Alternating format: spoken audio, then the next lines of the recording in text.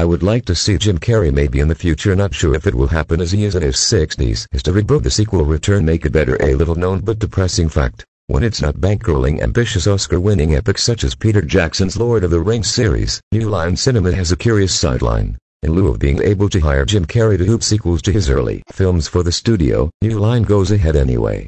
The thing is, see, Jim Carrey, despite a few high-profile fizzles, The Majestic, etc., has been a remarkably consistent draw for a decade now, and a very hard actor to find a substitute for. No one mugs with more energy.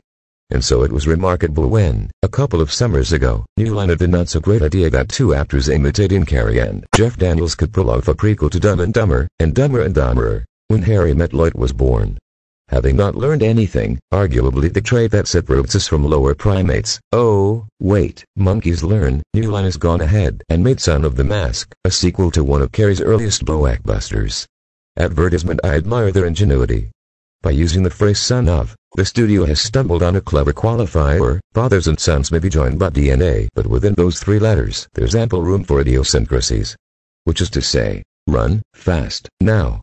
Son of the Mask has not a thing to do with the original Mask, 1994, except a faint family resemblance, and still I wouldn't answer the door if it comes looking to borrow money. The timid bank clerk by day that Jim Carrey played in the first Mask is never even mentioned. A dog is sniffing around a river's edge and brings home a mysterious wooden mask, the same mask that transformed Carrey into a suit of stud with a green goblin face and the ability to bug his eyes out like Bugs Bunny. It came to the right place. The dog is owned by Tim Avery, Jamie Kennedy, a Timothy Wade sketch artist for an animation studio.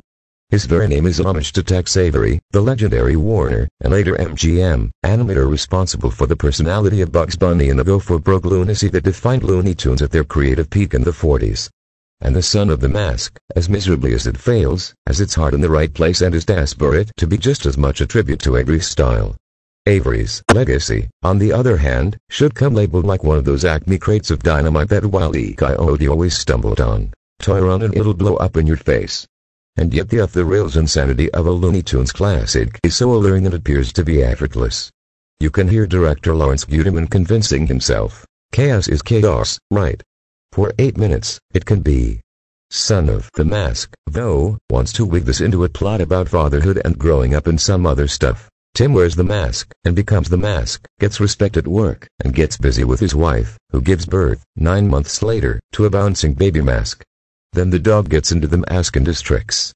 Alan Cumming plays Loki, god of mischief, who comes to Earth on orders of his dad, Odin, Bob Hoskins, unrecognizable beneath makeup, and tries to get the mask back.